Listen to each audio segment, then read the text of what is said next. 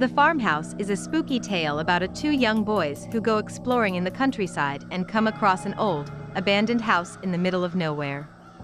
Every summer, my mother would take me to visit our relatives who lived out in the country. My cousin and I were almost the same age and we were always up to mischief. We spent our days out in the fields, exploring the area, making bows and arrows, sharpening knives, throwing rocks, climbing trees and tracking wild animals. One day, we set out on a long walk across the fields, not really having any idea where we were going. Sometimes we like to get ourselves lost and then try to find our way home. After a few hours of walking, it was getting late in the afternoon when we came across a farmhouse that looked as if it was abandoned. On the property, there was a small storage shed, so we jumped over the fence and decided to find out what was inside. We found that the doors were locked. There was a small keyhole, but we couldn't see through it because it was blocked by dust and thick spider webs. We walked towards the house and noticed that the front door was standing open, but there was no sign of life coming from within. The yard was overgrown with grass and weeds. The only sound we could hear was an old windmill nearby, rattling in the breeze. I went to the door of the house and shouted, hello, but there was no answer. It was then that the smell hit me. It was the stench of damp, mold and decay. I stepped inside. There were clothes and papers everywhere, and some cardboard boxes. There was also an old bed, some racks of moth-eaten clothes, a leather armchair. I took a few steps forward and the smell seemed to get worse. A feeling of intense uneasiness washed over me and I wanted to turn and run away.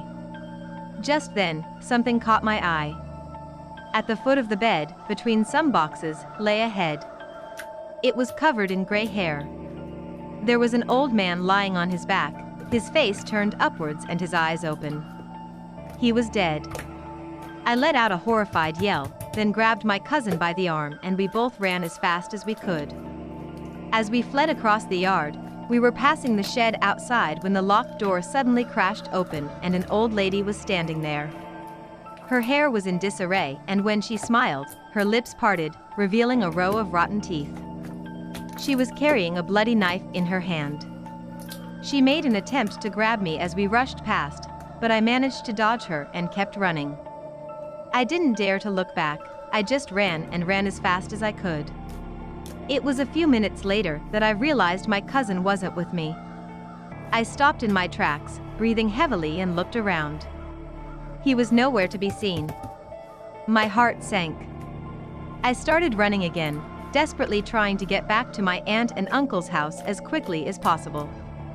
Eventually, I saw the lights of their house in the distance.